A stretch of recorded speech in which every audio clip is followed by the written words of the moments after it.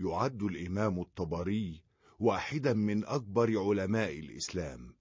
اشتهر بغزارة العلم والمعرفة فهو الفقيه المجتهد إمام المفسرين وشيخ المؤرخين.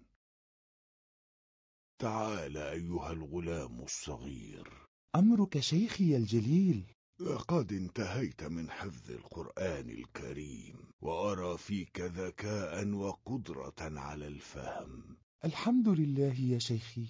وأنا أريد أن أتحدث إلى أبيك في موضوع يخصك فأبلغه كي يحضر هنا غدا. أمرك شيخي. ما الأمر أيها الشيخ الجليل؟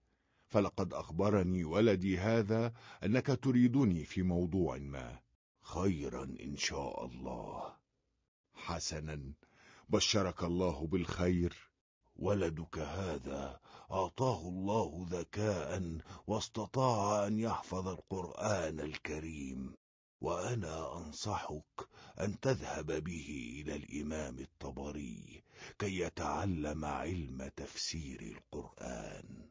الإمام الطبري إنه من كبار علماء التفسير. لقد صنف كتابا ضخما في تفسير القرآن الكريم وهو من أكبر كتب التفسير التي عرفتها. أتقصد كتاب تفسير الطبري؟ بالطبع هو. حسنا. بارك الله فيك أيها الشيخ. هيا يا بني إلى مجلس الإمام الطبري. هيا. إن الإمام الطبري لديه علم غزير خاصة في التفسير والحديث والتاريخ والفقه والقراءات. وأنا تعلمت منه الكثير والكثير.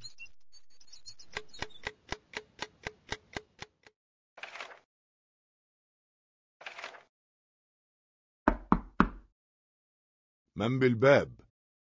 إنه أنا يا أبي. أخبرني. كيف حال الإمام الطبري؟ بخير يا أبي.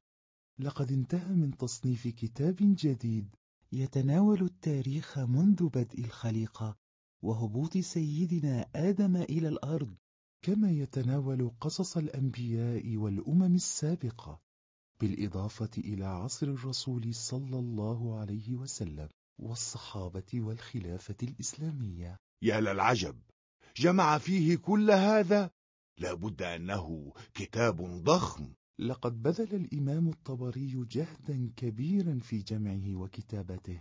بارك الله في الإمام الطبري. كم يتعب من أجل خدمة الإسلام والمسلمين.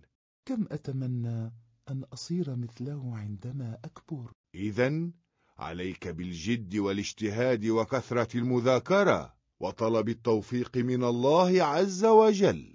بارك الله فيك يا بني. بارك الله فيك يا أبي.